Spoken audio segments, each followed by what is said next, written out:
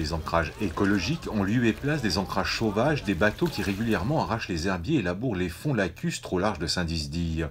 Dans le cadre d'un projet d'études scientifiques, des herbiers de macrophytes, des végétaux qui poussent dans 0 à 6 mètres d'eau, l'association Les Passion se mobilise depuis deux ans à proximité de la plage de la Châtaigneraie pour tenter de préserver ce site sous lacustre tout en proposant des alternatives à l'amarrage des bateaux de plaisance grâce à des mouillages écologiques.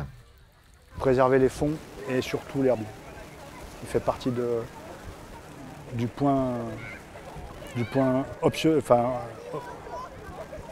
pour moi c'est le point clé, l'herbier, de, la protection parce que c'est la naissance de tout. C'est là où les petits poissons vont devenir grands, ils peuvent se cacher des prédateurs.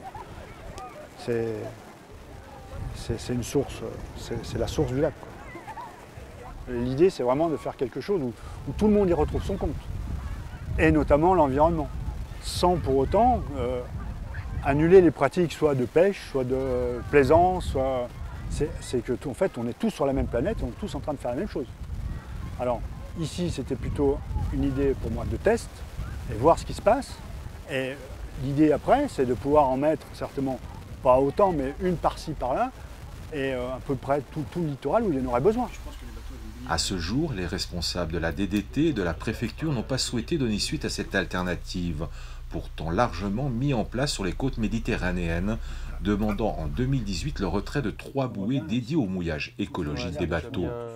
C'est un outil, déjà, il faut le voir comme ça, c'est-à-dire que c'est un outil qui est pertinent dans le cadre d'une action qui est de protéger l'herbier. Aujourd'hui, il faut savoir que au lac d'Annecy, il y a plein de mouillages écologiques que c'est un petit peu plus compliqué pour les mettre en place.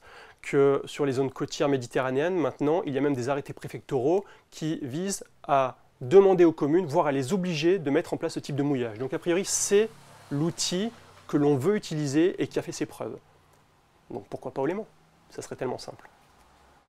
L'association Léman Passion poursuit sa mobilisation même si le règlement particulier de police de navigation interdit l'ancrage au droit des herbiers sur l'ensemble du lac Léman.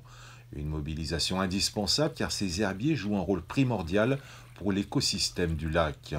Zone favorable pour la reproduction des poissons et outil indispensable aux échanges gazeux gaz carbonique oxygène, leur préservation serait un premier pas vertueux vers une démarche respectueuse du littoral lémanique.